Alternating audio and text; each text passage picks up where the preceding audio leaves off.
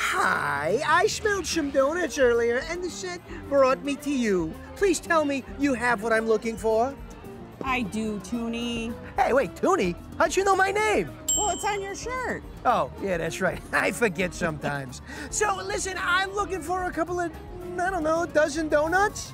Well, I can help you with that. All right, I'll take one, please. You're welcome. Here they Oh, are. Thank you.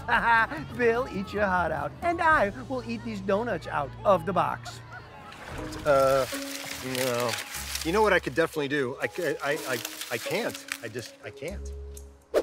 Whoa, whoa, whoa, a haunted house? Oh, let's do this.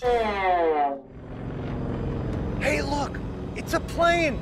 Down here. Hey, I'm down here. I'm down here. I'm at the, uh, Oh, he is deliberately ignoring me. Ha ha, that haunted house wasn't too scary. In fact, I've been to more frightening dinner parties. Gosh, I sure hope Toony's doing all right. That guy must miss me so much. I'm a cute little adorable spider. Hey, I'm Spiderfish.